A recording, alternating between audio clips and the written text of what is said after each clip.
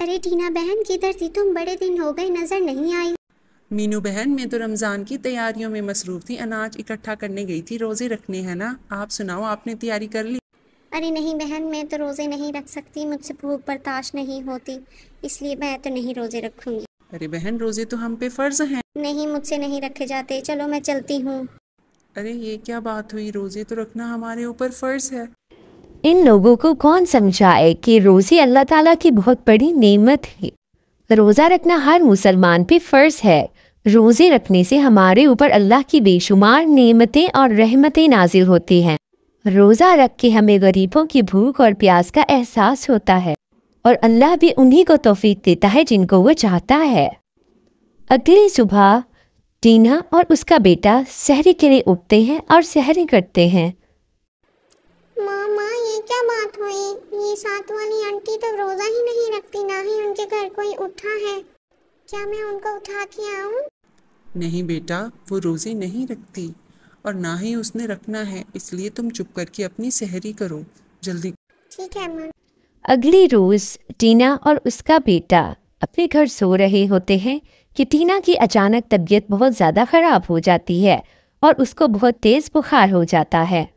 और वो यही सोच के परेशान हो रही होती है कि उसके जिसम में तो जान नहीं है और ना ही इतनी हिम्मत कि वो अनाज के लिए जा सके, अपना और अपने बेटे का पेट पाल सके।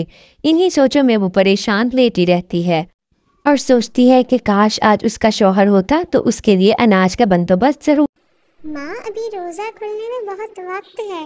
आप ऐसा करो, आराम करो और मैं जाके कुछ अनाज देख के आता हूँ। वैसे तो अल्लाह का दिया सब कुछ है हमारे पास। मगर मैं देखता हूँ शायद कुछ नया फल फ्रूट मिल जाए जिससे हम रोज़ा खोलेंगे। ठीक है माँ मैं चलता हूँ। आप मेरे लिए दुआ कीजिएगा और परेशान मत होइएगा।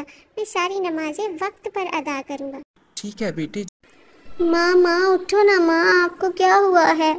बेटा मेरी तबीयत बहुत ख़राब हो रही है। तुम ऐसा करो जाओ अनाज लेकर आओ कुछ खाने को ढूंढ कर लाओ। मुझे बहुत तेज़ बुखार हो रहा है। मेरे जिसम में जान नहीं है कि मैं उठ सकूँ और कुछ खाने को ला सकूँ।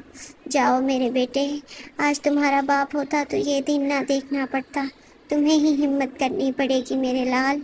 जाओ और अपना बहुत ख्याल रखना। चिंटू अनाज की तलाश में निकल पड़ता है। और वो बेचारा अपने घर से बहुत दूर निकल आता है, मगर उसको कहीं पे भी कुछ खाने को नहीं मिलता। मगर फिर भी वो सब्र और तहमुल के साथ अनाज की तलाश के लिए कोशा रहता है। वो बहुत उड़ाने बढ़ता है, इधर उधर देखता है, मगर उसको कुछ नहीं हासिल होता। फिर भी वो कोशिश करता रहता है। चिंटू को रास्ते में मिंटू मिलता है। अरे चिंटू, क्या हुआ? तुम इतने परेशान क्यों हो? मिंटू भैया, मेरी माँ बहुत बीमार है और हमारे पास कुछ खाने को भी नहीं है। मेरी माँ को बहुत सख्त बुखार है। चिंटू, तुम परेशान मत हो। तुम्हारी मदद मैं करूँगा। हमारे पास बहुत ज़्यादा अनाज है। मैं तुम्हें उधर से दूँगा। तुम वो खाना और अपनी माँ को भी खिलाना। चलो मेरे साथ। माँ माँ, ये चिंटू की माँ बहुत बीमार है। इनके पास खाने को कुछ नहीं है। इनको कुछ खाने को दे। हाँ बेटा, क्यों नहीं? ये लो बहन। खाना खाओ हम इफ्तारी कर रहे थे तो तुम भी हमारे साथ ही खाओ। रोज़ा रखने वालों को सब्र अल्लाह की ज़ात देती है।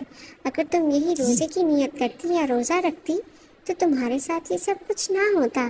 खैर अल्लाह तो सबकी मदद करने वाला और हिदायत देने वाला। बिल्कुल बहन मैं भी रोज़े रखूँगी।